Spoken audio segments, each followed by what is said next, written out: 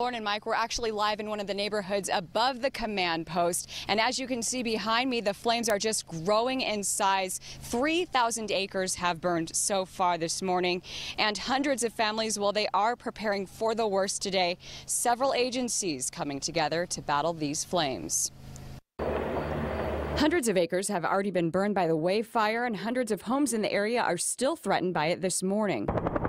Firefighters say the flames could burn for days, and neighbors like Susan Martin have been packing up their entire houses. We've just packed up clothing and food and um, personal items.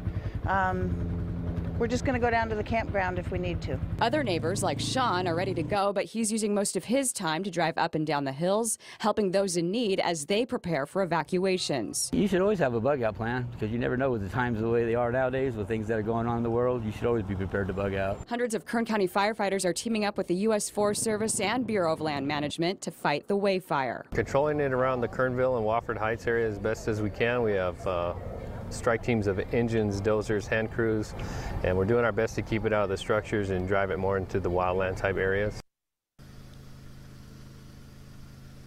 And Kern County firefighters say still no word on what has caused this massive fire. Again, 3,000 acres have burned so far. The fire is growing in size as we speak. So we'll be bringing you updates all throughout the mornings. Definitely stay tuned to 23 ABC. Back to you guys.